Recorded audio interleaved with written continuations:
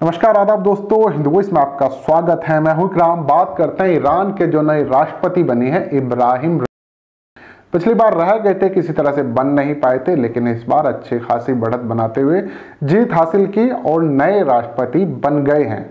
अब इनको लेकर सबसे ज़्यादा टेंशन बढ़ी है इसराइल की।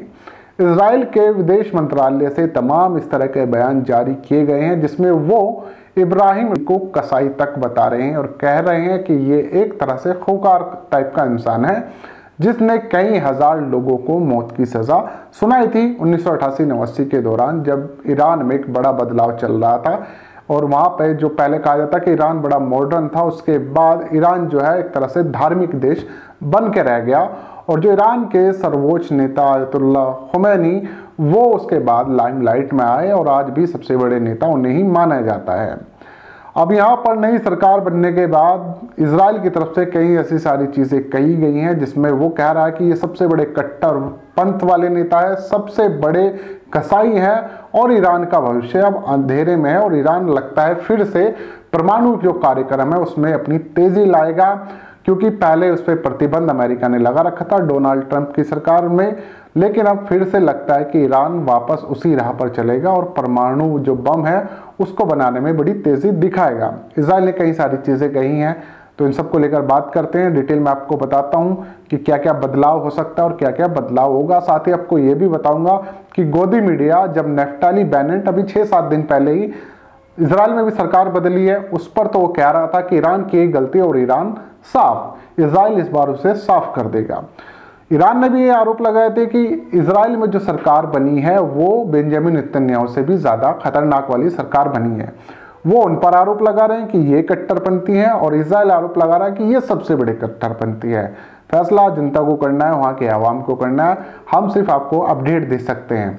तो बताता हूँ कि क्या क्या कहा गया है सरकार बनने के बाद। सबसे पहले मैं आपको एक अपडेट देता हूँ कि जब नेफ्टेली बेनेट अभी हाल फ़िलहाल प्रधानमंत्री बने इसराइल के तो हमारे गोदी मीडिया की तरफ़ से इस तरह के कुछ आप लोग देख सकते हैं, इस तरह के कुछ टाइटल और खबरें चलाई गई कि अगर इस बार कोई गलती ईरान ने की तो ईरान जो है साफ़ हो जाएगा।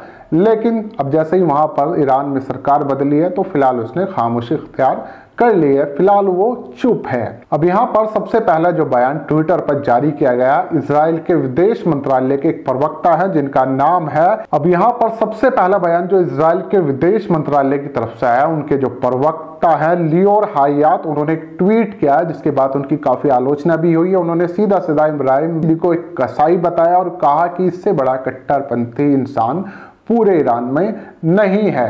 अब ये अपने परमाणु कार्यक्रम को बड़ी तेज़ी के से आगे बढ़ाएगा और उन्होंने साथ ये कहा कि 1988 के दौरान इसने तकरीबन 5000 लोगों की हत्या एक तरह से की थी और ये तेहरान का कसाई है। कसाई तक की उपाधि इब्राहिम को दी है इसराइल ने। तो ये इसराइल की एक तरह से बौखलाहट सामने आ रही है कि जिस तरह से वो फ़िलहाल बयानबाजी कर रहा है। इब्राहिम के बारे में आपको बता दूँ कि राजनीति भी अच्छी तरह से जानते हैं, वो जान के कानून भी अच्छी तरह से जानते हैं। जज रहे हैं और शुरू से ही आयतुल्ला खुमैनी के साथ जुड़े रहे हैं और जब ईरान में बदलाव चल रहा था, उस वक्त इन्हें कहा जाता कि इन्होंने जितने उस वक्त के जो राजनीतिक लोग थे, उनको मौत की सज़ा सुनाने का काम किया था। इसराइल पर लगातार आरोप लगा रहा है और इन्हें कसाई की उपाधि दे रहा है। इसके अलावा तमाम आसपास के देश, चाहे तुर्की हो, सीरिया हो, या फिर हमास से जुड़े लोग हों, या फिलिस्तीन से जुड़े लोग हों, सबने इन्हें मुबारकबाद भेजी है। पुतिन का भी ये कहना है कि ईरान की जो नई सरकार बनी है, हमारे उससे अच्छे रिश्ते और भविष्य में बनेंगे।